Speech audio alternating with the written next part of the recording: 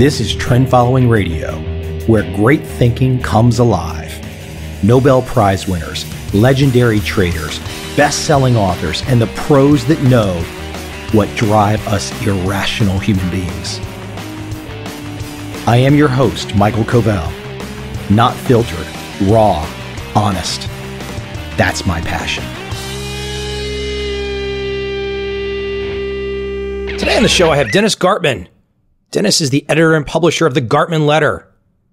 Dennis appears everywhere CNBC, Bloomberg, you name it, he's there. Discussing commodities, capital markets, he's everywhere. The Gartman Letter, very well known. Dennis, highly opinionated, very, very, very strong opinions. However, I do like the fact that he thinks in trends. He thinks about cutting his losses. I'm always, always eager to have people on my show that have those views. I hope you enjoy.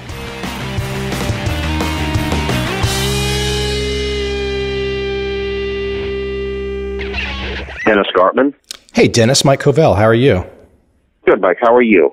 Not too bad. You're expecting me now, I assume. Yep, absolutely. Let me ask you a quick question. What's the connection to Suffolk? What's the connection to Suffolk? I live here.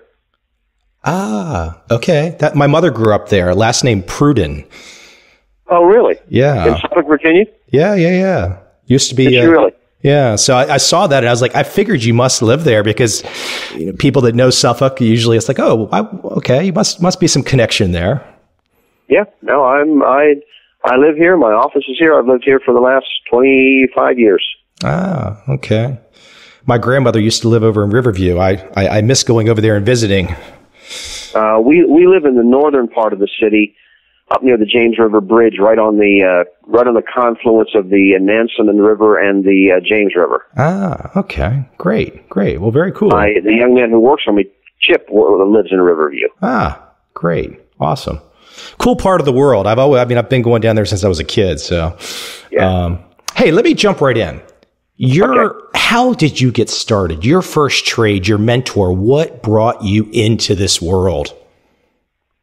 Uh, my first job out of graduate school was as the economist for Cotton Incorporated. My job was uh, to um, understand how the cotton futures market functioned, how how hedgers used the cotton futures market, how the commercials used it, how farmers used it. Uh, from there, I ended up trading. Uh, I, I was fascinated by the markets all the time, and uh, traded foreign exchange for what was then NCNB uh, now Bank of America in in Charlotte, uh, North Carolina. Uh, traded uh, financial instrument futures for them for a while, and then uh, became enamored enough of them that um, bought a seat on the board of trade in Chicago and moved there in uh, the oh I think uh, the late 1970s, and stayed there till the middle 1980s. And at that time, I was now 35 years old and too old to be on the floor of the board of trade trading bond futures. So moved to uh, Southern Virginia and uh, have been producing uh, the the Gartman letter ever since. Uh, who was my mentor? Uh, that's hard to say. Uh, uh, Gary Shilling has has been a, a, a big impact upon me. Paul Tudor Jones, who actually was at my desk for a while, and when he was trading cotton for uh, uh, Eli Tullis down in New Orleans, uh, spent some time in Raleigh, so we became friends. I wouldn't say Paul was a mentor; I'd say he's more of a friend. Um, hard to say who the mentors were. Pete Steidlmayer on the board of trade uh, was a uh, was a uh, an important teacher, and a number of the guys on the board of trade who were just excellent floor traders were were important people to me. But uh, I'm, I'm not sure there was any one individual who was a mentor, and I'm not sure there was one certain date that said this is what you want to do. It was sort of uh, serendipitous along the way.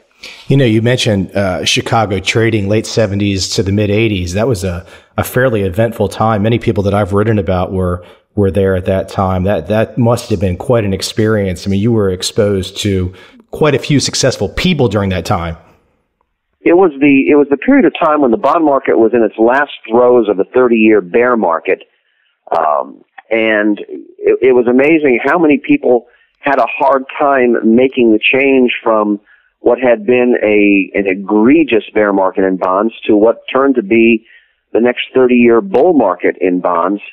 Uh, how many floor traders misunderstood that the market had changed it was also a period of time when tax spreads uh, were were no longer available, and I, I'm afraid that a lot of floor traders who thought they were really very good were actually nothing more than taking the other side of huge tax spreads.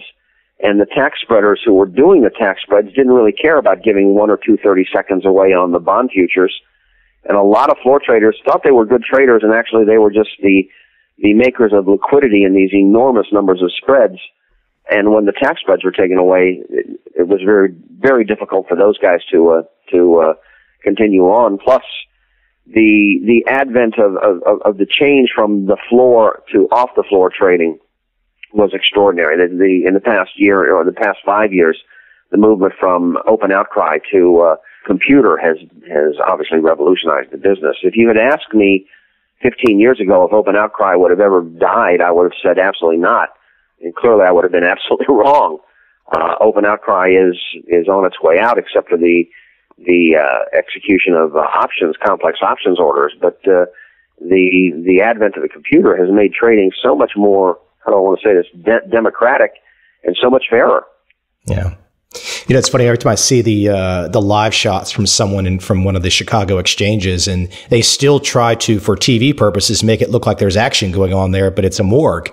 Yeah, there's really not. It's really quite sad.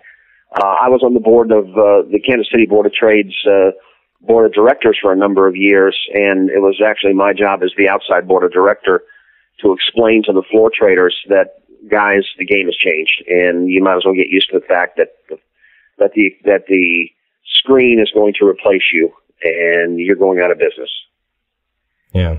Hey, here's where I want to jump in main today. At the, at the, end of our conversation, we could talk about some current stuff, but I thought since I had you on today, there would be some great big picture wisdom. And some of my notes that I put together were pulled from, I've seen either various numbers, 19, 21, 22 points that were, that you have really abided by. And I thought these would be great to let you elaborate a little on because even though perhaps to me, to you, many in the audience, they might sound like common sense they're not so commonly applied. And I just want to start with the very first one, which is just, it's simple sounding, but never, ever add to a losing position ever.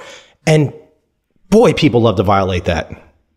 Yeah, we all do. I mean, we're human beings and uh, we're going to, hell, I even do it myself uh, uh, every once in a while. And every time you do, uh, you will usually live to regret it. And when you don't regret it, it's only a matter of time until you do regret it. And very simply put, if you if you buy something at 12 and it goes to 15, the market's telling you you're right, and there's only one thing that can be happening to the to the size of your account, and that is it's getting larger. If you buy something at 12 and it goes to 10, uh, there's only one thing that can be happening to the size of your uh, equity in your account, and that is it's getting smaller, and you're wrong. Why would you do more of something that's wrong? Why would you do more? Why would you tell the market, which is the sum total of the wisdom of everybody else involved that they're wrong and you're right. Why would you do that? It doesn't make sense. So when you do that, it almost always is it, it, almost always is a disaster. And that dovetails right into just the, the concept of buying strength, buying strength, selling weakness.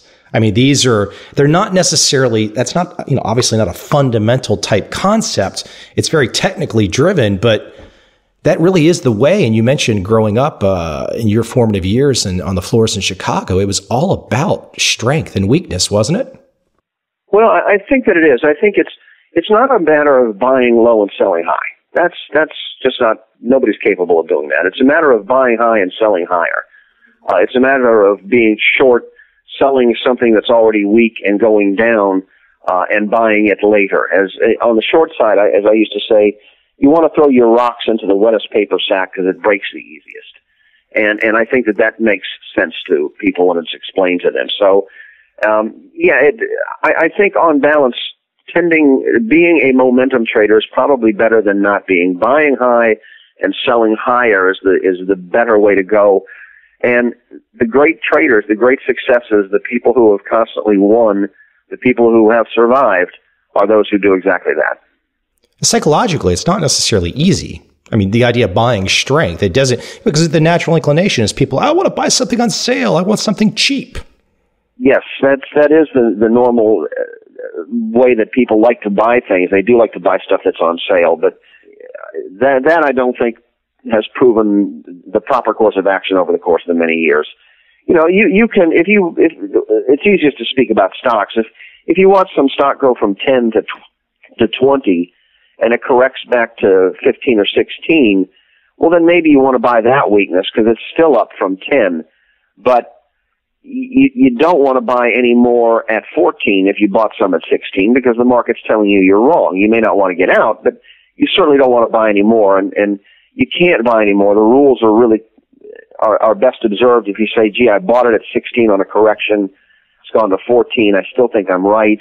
But you can't buy any more until it gets back to 17 or 18 when the market's again telling you that you're right. And that, that's hard to do. And as Pete Steidlmayer once said, do the hard trade. And that's, that's always the better trade. Do the trade that's hard to do. The easy trade is usually the one that you don't want. The hard trade is usually the one that you do want. Dennis, talk about systems from your perspective. And I mean, I've seen you make the comment, and I, I agree, and I, I, know many great traders will agree with it, which is the idea keep your systems simple, robust, yeah. simple, straightforward. What do you mean by that for the audience out there?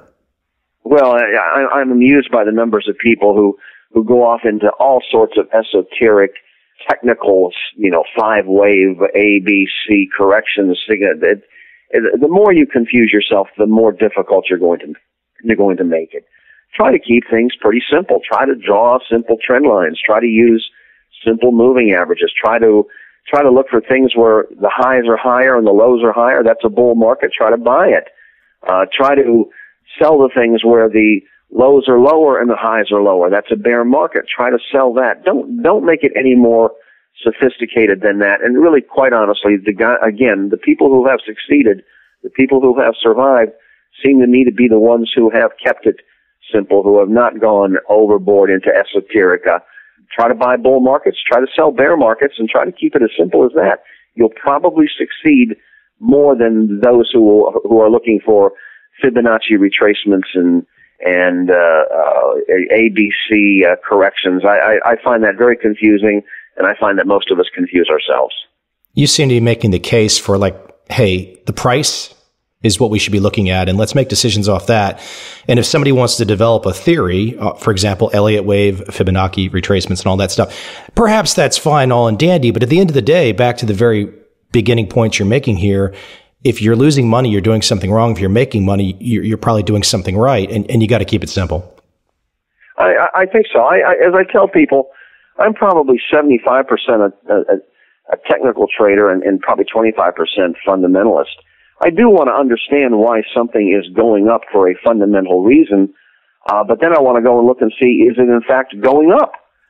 I've been bullish of, of aluminum for a long period of time since basically last October. It's been one of my really better ideas, uh, and and I just came to the simple conclusion that automobiles were going to be using more aluminum. That that uh, the economic circumstances in China seem always to be moving from the lower left to the upper right. Automobile sales there are going to be increasing and under the Environmental Protection Agency's mandates to increase the miles per gallon on cars, the easiest way to do that is reduce the weight, and reducing weight is done easily or best by replacing steel with aluminum. I, I didn't want to get into it any more sophisticated than that.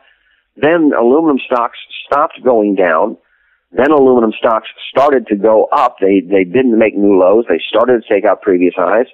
And at, at that point, I said the technicals are beginning to turn bullishly the fundamentals as I understand them, and there were plenty of people who were taking me to task for what I said, started to work. I, I think that's very illustrative of how to do this business. Uh, have some idea as to why something is going up or why something is going down.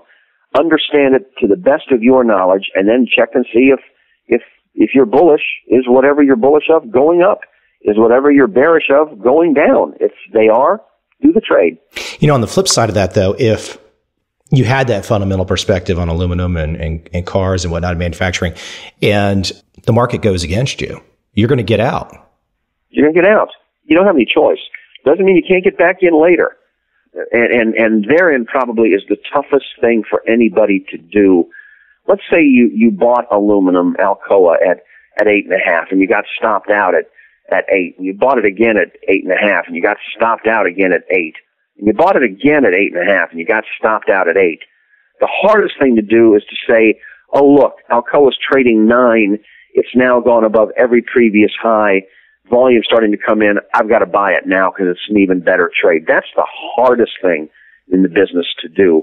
That's the right thing because at that point, everybody else who's tried to sell it probably has sold it. They're now short and suddenly you see volume coming in on the upside. That's, that's the hardest thing is to get stopped out several times on an idea. Keep making sure that you keep your, your losses to a, you know, a, a dull roar. And then when it finally starts to do what you think it should be doing, come back with, uh, bullets blazing, buy some. If it works, buy some more. If it works, goes more, buy some more. That's the hardest thing to do. You know, this point that I'm going to mention that you've said, which is something that I agree with as well be patient with winning trades, be enormously impatient with losers. Now, we've touched on that partly, but the being patient with winning trades, not just dying to take that profit, but letting that move fully go. That's really where you're headed there, aren't you? No, absolutely. I, I think one of the worst aphorisms in the business is you never go broke taking a profit. Mm. That's just silly. The, the, the average investor takes a, a, 2% profit, a 2% profit, a 3% profit, a 2% profit, then takes a 40% loss. Therein lies the problem. The, the, the game is, is to, to buy Alcoa at, at 9 and watch it trade 16 and keep buying it because it's probably going to go to 40. That's, that's the real that makes up for a lot of mistakes. That makes up for a lot of errors. That makes up for a lot of misjudgments. And that's hard to do. Yeah. I mean, the big money's made on the big moves. Hey, let me ask your your daily grind, your daily digging through. What is your process? What what do you like to read? What do you what kind of information do you like to take in? How do you approach your daily world? I, I read a lot. I, I read ridiculous numbers of newspapers. Uh, I really, I, I read the other things that other people are writing. I, the, it, it was interesting. 25 years ago, 26 years ago when I started doing this, uh, all you had was a, was maybe the Dow Jones Newswire, maybe Reuters, none of which were really very good. And at that time, all you had were newspapers. And, and so I, I can remember when I moved to Suffolk, uh, 26 years ago, and I was getting the China People's Daily and, and the Moscow Times, uh, and the South China Morning Post, and the Süddeutsche Zeitung, um, and the postmaster was quite dismayed and even somewhat disturbed when he saw the China Daily being sent in. but back then it was interesting because I could read the China Daily, and what I read, even though it was three or four days late, I was still days in advance of what anybody else was seeing. And so my job then was to read, as I used to say, the information begins on page 32 of some obscure newspaper and eventually makes its way to page one. And, and the trick was to know what was on page 32 that was important. That was always the hard part. And, and, and so that's what I used to do. And, and I still do. I still read uh, newspapers copiously, and I don't read them online. I read them physically because there so much is missed on the online subscriptions. Uh, they don't give you page 32.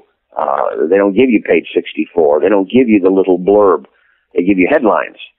And there's still something to be said by, by reading the Financial Times, and, and I will simply say at this point, uh, in the old days, the FT was so much better than the, than the, uh, than the uh, Wall Street Journal, and I have to give the Wall Street Journal enormous credit. Under, under Rupert Murdoch, the Journal has gone from being simply a, a place where earnings were reported to actually being a first class global newspaper. It's really quite good.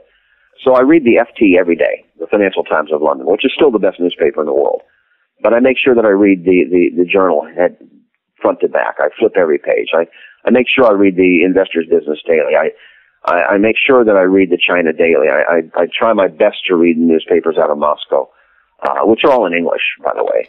Uh, you know, my, and, and, and I listen to what other people are saying, pick up bits and pieces from, uh, from uh, my Reuters screen that I have at hand.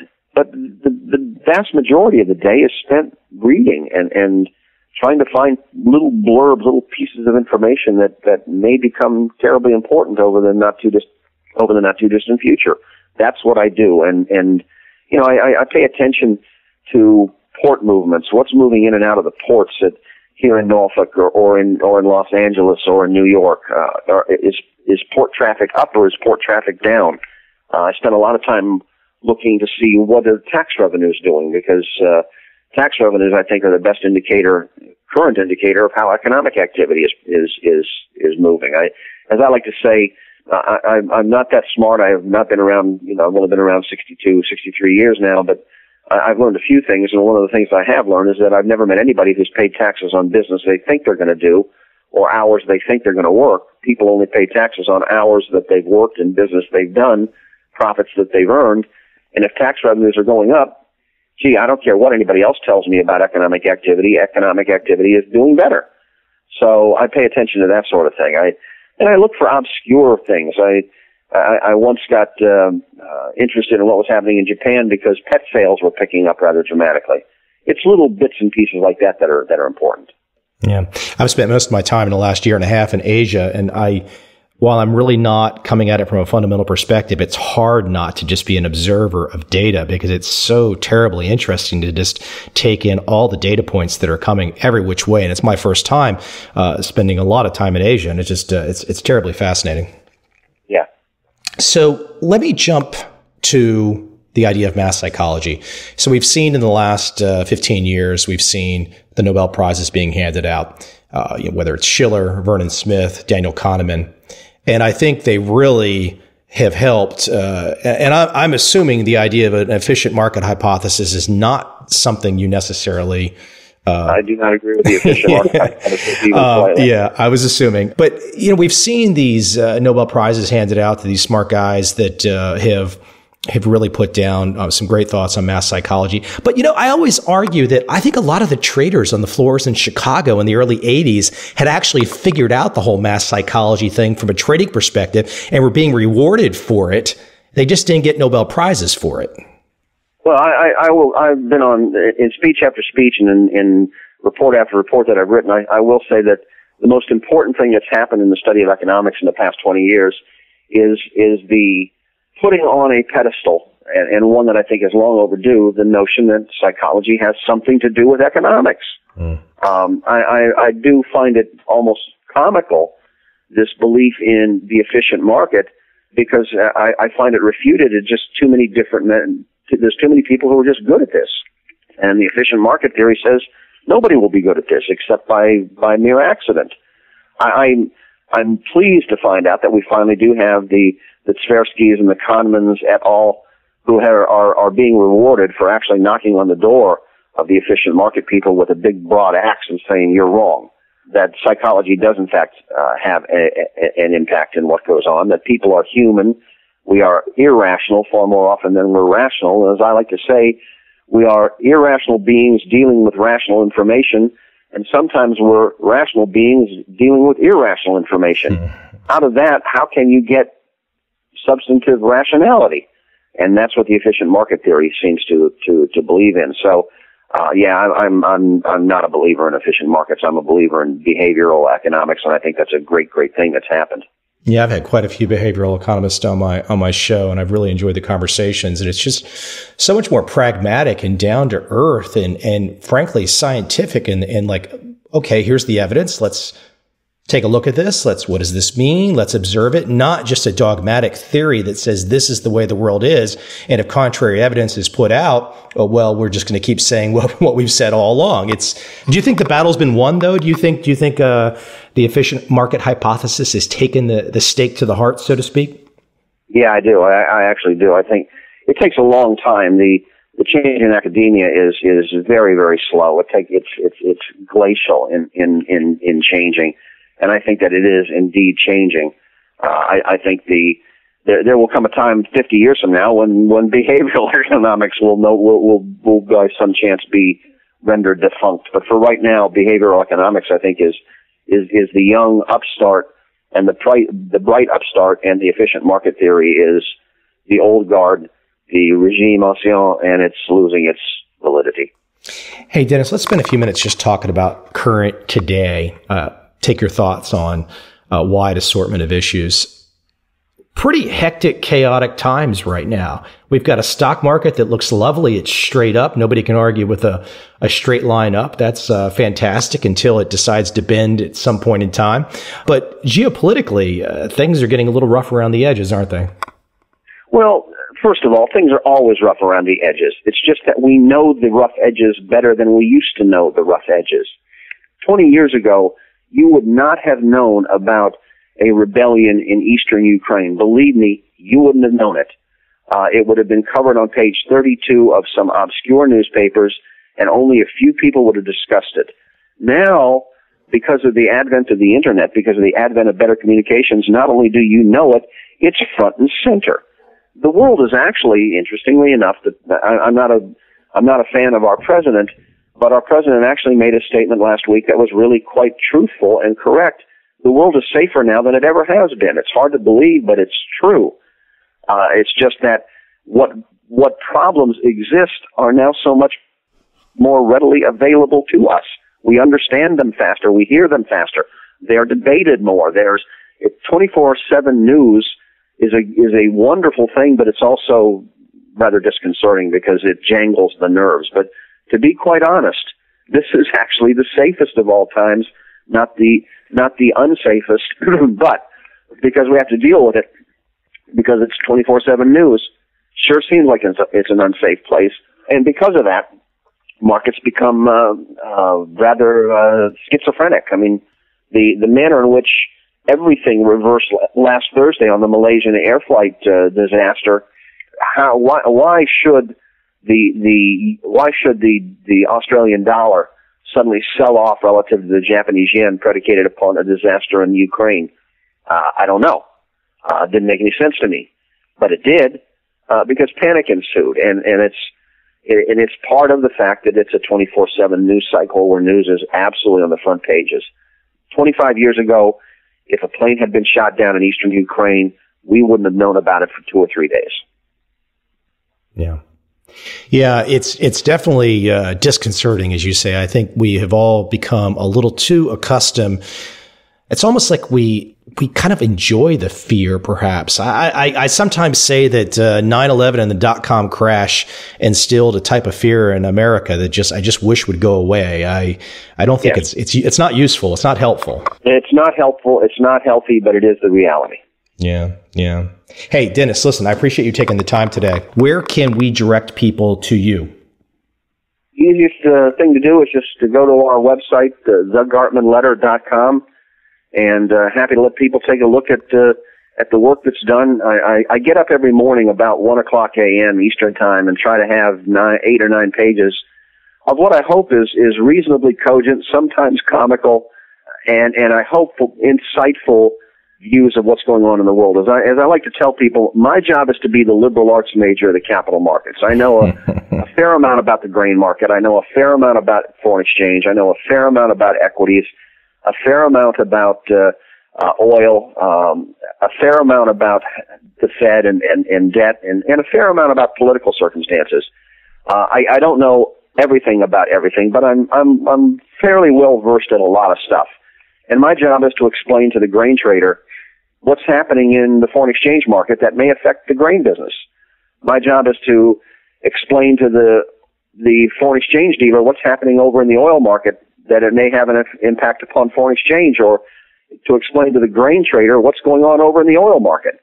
Uh, I can't tell the oil trader more about oil than he or she knows, and if I can, heaven help that person. But I, I, I tend to bring a, a broad overview as to what's going on, a view far from the madding crowd here in Suffolk, Virginia, away from the noise of New York, away from the noise of Chicago, away from the noise of London, and say, you know what, I think this is what's really going on. So they can go to uh, thegartmanletter.com, take a look at what, what it is that's produced, and, and I'll be blunt, it's not cheap. Uh, but because it comes out every day, I, we've had subscribers with us now for 25 years, and uh, uh, they seem to to enjoy it. As some, as a friend of mine once said, the Gartman letter is read in all the great men's restrooms around the world early in the morning. hey, two two quick questions I want to address. That things you just said. 1 a.m. When did you go to bed? about 10. I, I learned years and years ago in undergraduate school. Um, I, I had to work to go to school. I was also a diver, so I had to hit the springboard, and something had to get something had to give, and uh, give was sleep. And and I learned to get along with three and four hours sleep ever since then. I learned that uh, that uh, Winston Churchill got by on three hours sleep, and he seemed to do pretty well in life. So if he could do it, uh, so too could I. Um, it, it helps to pick up four or five hours upon everybody else's as my daughters used to say, well, Dad hasn't a choice. He's got an IQ of 70. He needs that extra three hours just to get back to hey, one last question. Are we ever going to see interest income again? Yes. I may be dead, but yes, we will. We'll, we'll see the Fed funds rate back at 5% in the next five years or so. There's not a question about that. Uh, it'll, it, it will eventually come. A, a normalization of rates will occur. And the one thing you do know is when the Fed begins to tighten rates, they will it, it will be the first of many tightenings, not the not not not a one off, but the first of many to come. And that may well that, that'll be indicative of growth in the economy, not not indicative of, of inflation. Yeah. Hey Dennis, thank you for taking the time today. And uh, I I hear you about the three hours of sleep, though, but you're a better man than I. I, I don't know if I can function. I, I, it's, uh, I don't know how you do it. But hey, listen, thank you for taking the time today, and best of luck honored to have been asked, but we'll do it again in the future. And as I like to sign off every day, good luck and good trading. Take care, Dennis.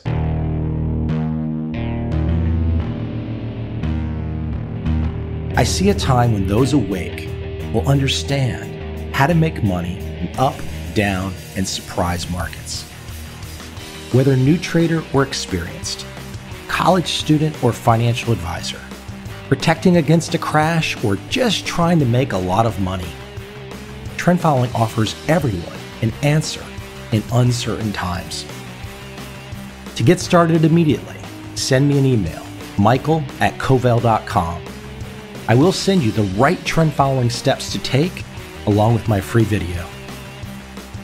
But if you want to buy and hold, trust the government and trust Wall Street, this is absolutely not for you.